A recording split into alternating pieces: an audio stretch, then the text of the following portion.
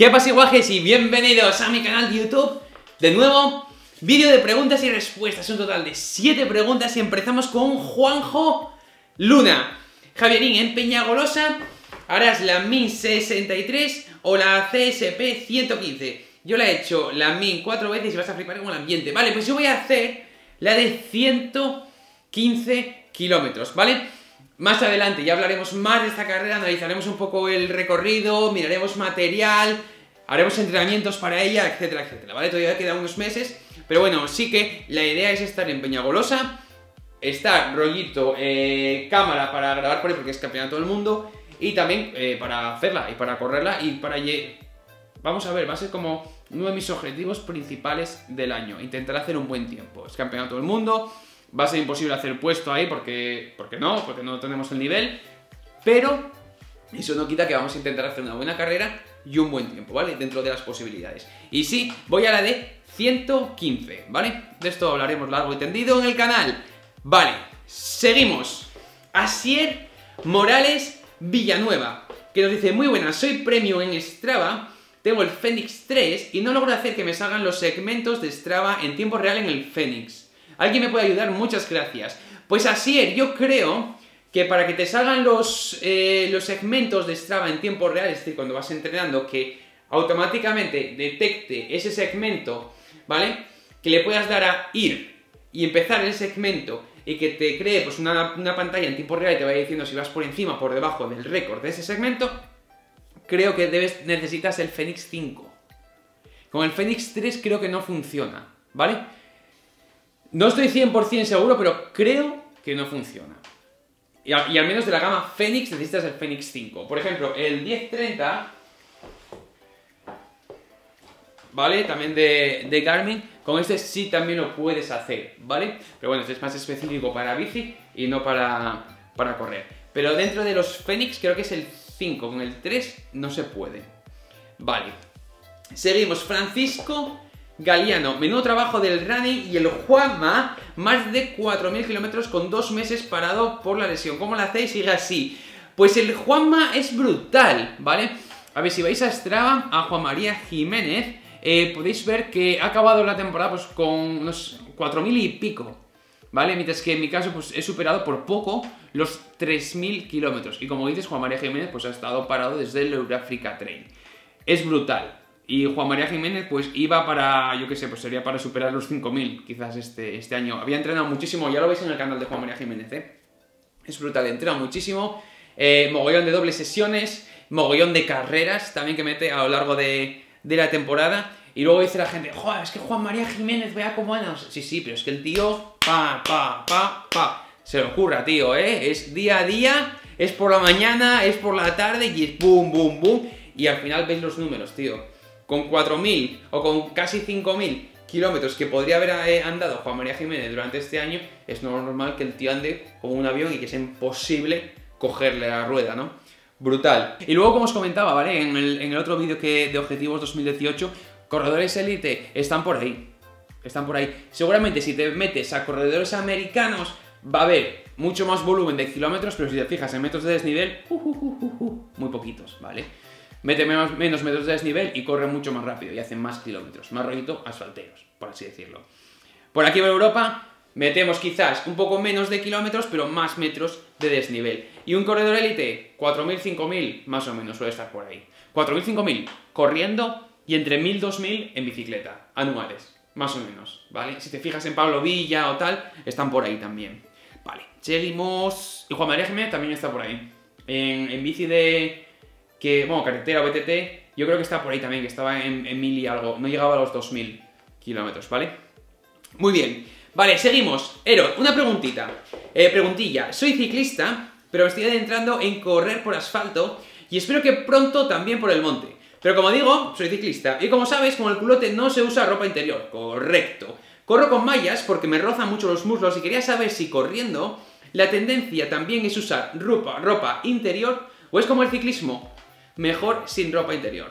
Si las mallas son compresivas, también lo mismo de usar o no ropa interior, pues nada, eres un vídeos me motivan un montón. Muchas gracias, tío. Vale, pues mira, eh, Yo personalmente, debajo de las mallas, debajo de los pantalones, ya sean de Salomon, ya sean de Wong, ya sean de lo que sea, ya sea compresivas, como si son más sueltitas, no llevo absolutamente nada. Ojito, yo también vengo del ciclismo, ¿vale? Y de estar acostumbrado a correr muchos años con el culote, que en el culote, debajo del culote, obviamente no llevas nada, porque si no es que eso es una prenda que, que roza, que se arruga, y al estar en contacto, eso que suena es de sillín, ¿eh?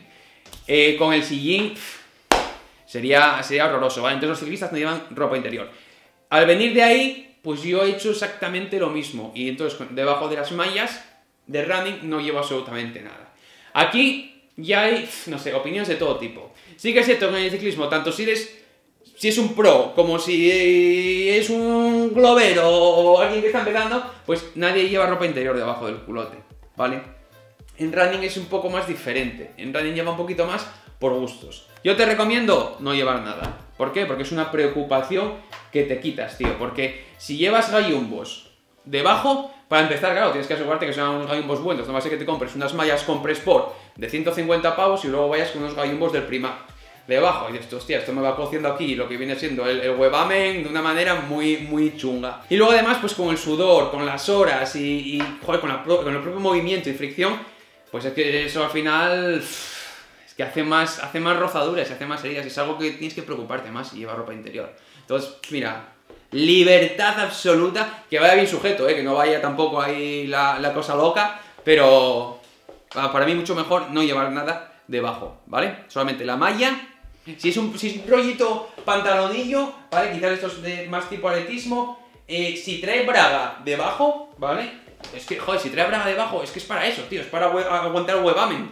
Entonces no necesitas meter un gallumbo más encima, tío. Pero bueno, aquí cada uno, hay gente que va a gusto, pues oye, pues nada.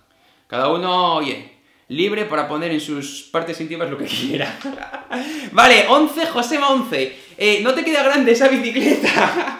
es que sí que da la sensación, tío. Sí que da... Yo cuando voy encima de ella, no. Pero bueno, ya me voy acostumbrando más o menos, ¿vale? Pero sí que es cierto que al ver los vídeos o fotos o tal, sí que es en plan, joder, parece un, puñetero Hilgerin. Yo que más... A ver, vamos a ver. Mira, mira para ti.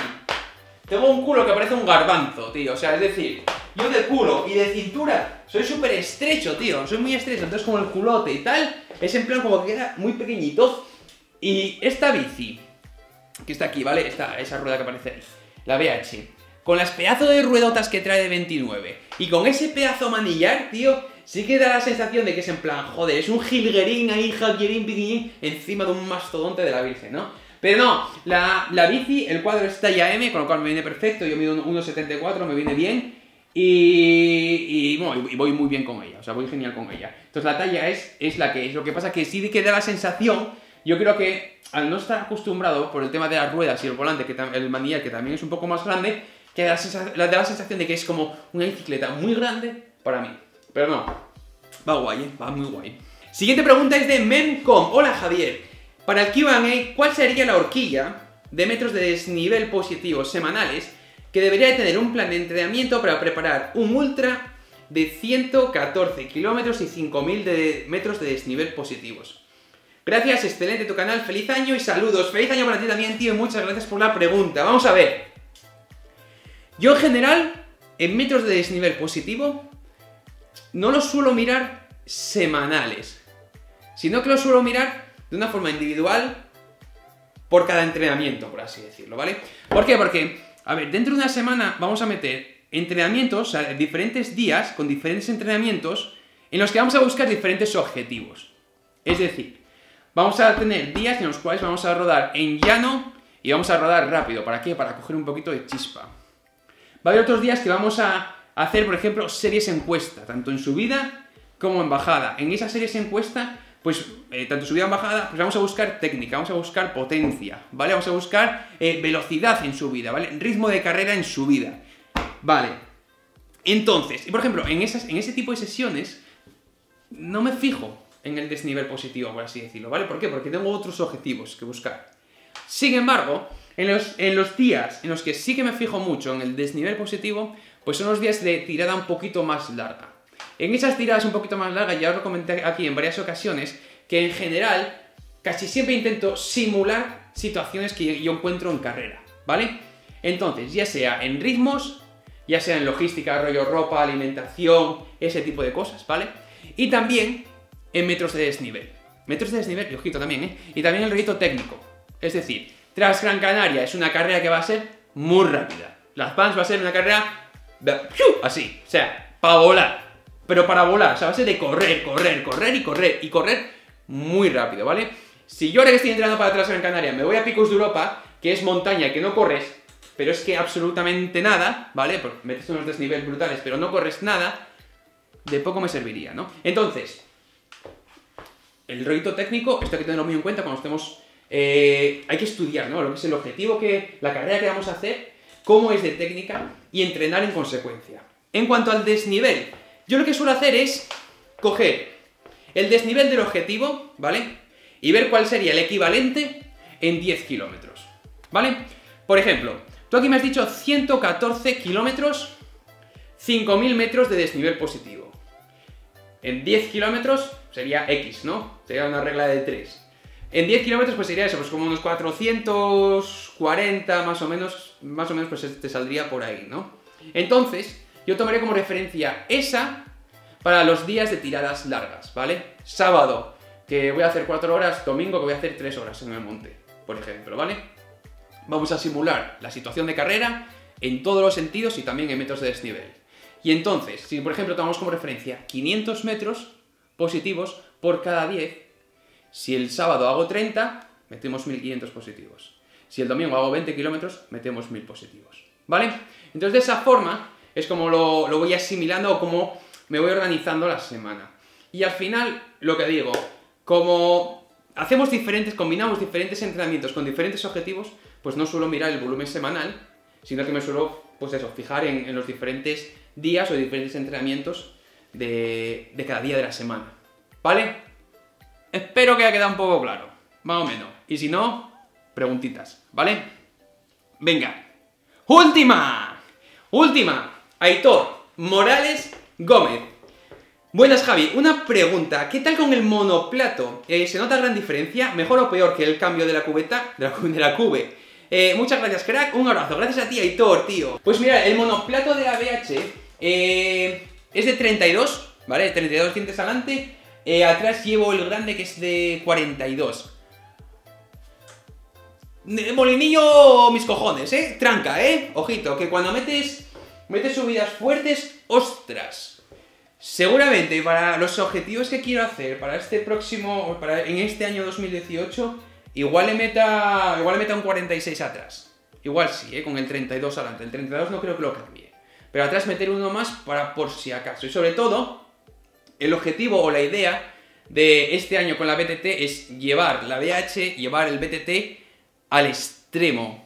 Es decir, a la ultra distancia. E intentar estar muchas horas rodando con ella, ¿no? De 10 horas, 20 horas, días, ese tipo de cosas, ¿vale? Tanto en retos personales como en carreras. Ya os, ya os iré contando todas las movidas mentales que tengo pensados hacer con la, con la BH, ¿vale? Y entonces, después de tantas horas corriendo y de tantas horas por la montaña con ella, pues seguramente que un 46 atrás es posible que lo agradezca un montón, ¿vale?